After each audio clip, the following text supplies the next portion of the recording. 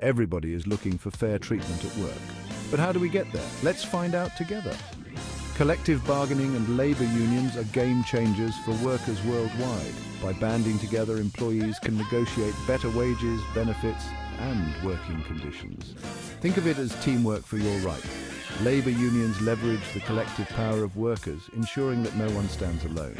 From the factories in Asia to the offices in Europe, unions are making a difference. They give workers a platform to voice concerns and fight for fair treatment. So next time you hear about unions, remember they're not just about strikes and protests. They're about unity, fairness and a better workplace for everyone. Stay informed, stay united,